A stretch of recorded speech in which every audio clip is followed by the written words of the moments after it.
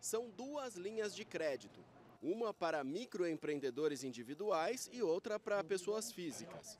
A forma de solicitar o empréstimo muda caso a caso. Pessoas físicas não precisam ir a uma agência. Podem fazer o pedido diretamente pelo aplicativo Caixa Tem.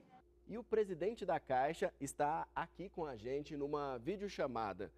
Pedro Guimarães, as pessoas então interessadas em solicitar esse empréstimo, primeiro passo é ter esse aplicativo atualizado, né?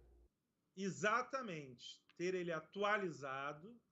Depois disso, realizar a entrada, a atualização cadastral. O que, que significa isso? Basta clicar no botãozinho de atualização cadastral, ter a sua RG ou a sua carteira de motorista em mãos. O valor emprestado varia entre 300 e mil reais.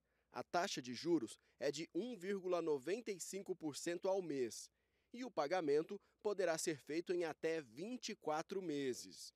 Quem está com o nome sujo também vai poder pedir o crédito. Reforçando, tanto pessoas negativadas quanto não negativadas podem pedir, pessoas que recebem o auxílio também podem pedir, mas isso é um crédito. Os microempreendedores individuais interessados no empréstimo precisam ter conta na Caixa e mais de 12 meses de faturamento como MEI. O valor emprestado varia entre R$ 1.500 e R$ 3.000. A taxa de juros é de 1,99% ao mês e o pagamento poderá ser feito em até 24 meses.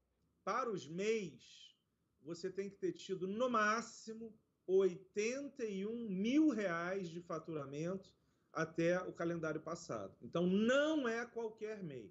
Os microempreendedores devem procurar a agência da Caixa e levar comprovante de residência, documentos pessoais e da empresa. O presidente da Caixa fez um balanço dos primeiros dias de liberação dos pedidos de empréstimo. A procura foi muito grande. Temos até 10 dias para responder se foi aprovado e se for aprovado qual o valor ou se não foi aprovado por algum motivo.